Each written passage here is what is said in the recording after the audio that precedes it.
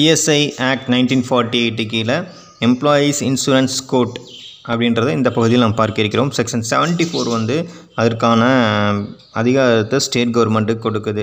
State government என்ன பண்ணலாம் அப்படின்னா ஒரு நோட்டிஃபிகேஷன் கொடுத்து அஃபீஷியல் கெசட்டில் வந்து ஒரு நோட்டிஃபிகேஷன் கொடுத்து இந்த எம்ப்ளாயீஸ் இன்சூரன்ஸ் கோட் அப்படின்றத எஸ்டபிளிஷ் பண்ணலாம். ஏதாவது ஒரு குறிப்பிட்ட பகுதியில்.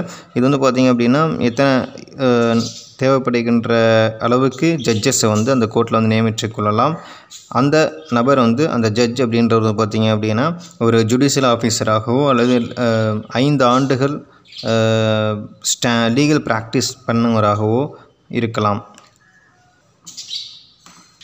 எத்தனை கோர்ட்டை வந்து எஸ்டப்ளிஷ் பண்ணுறது அப்படின்றத ஸ்டேட் கவர்மெண்ட்டே வந்து தேவையை பொறுத்து அங்கே நடைபெற பிஸ்னஸை பொறுத்து முடிவு முடிவு செஞ்சுக்கலாம்.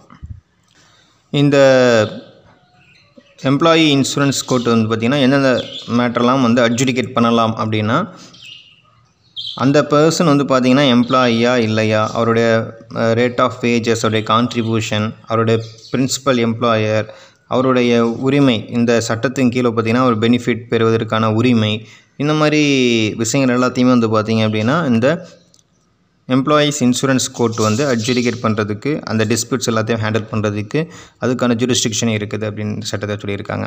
இதுவும் இல்லாமல் எந்த மாதிரி கிளைம்லாம் வந்து இந்த கோர்ட்டில் வந்து நம்ம மேக் பண்ண முடியும் அப்படின்னா recovery of contribution from principal employer immediate employer அதேமாதிரி ஆக்ஷன் ஃபார் ஃபெயிலியர் அந்த கான்ட்ரிபியூஷன் பே பண்ணுறதுக்கான நெக்லிஜென்ஸாக இருக்காங்க அல்லது பே பண்ணாமல் இருக்காங்க அப்படின்னா அதுக்கு அதுக்கு நம்ம க்ளைம் பண்ணலாம். அதே மாதிரி ஏதாவது ஒரு பெனிஃபிட் இருக்குது அப்படின்னா அந்த பெனிஃபிட்டை வந்து ரெக்கவரி பண்ணுறதுக்கு இந்த சட்டத்தின் கீழ் உள்ள பெனிஃபிட் வந்து ரெக்கவரி பண்ணுறதுக்காகவும் நம்ம வந்து இந்த கோர்ட்டில் வந்து நம்ம க்ளைம் பண்ண முடியும்.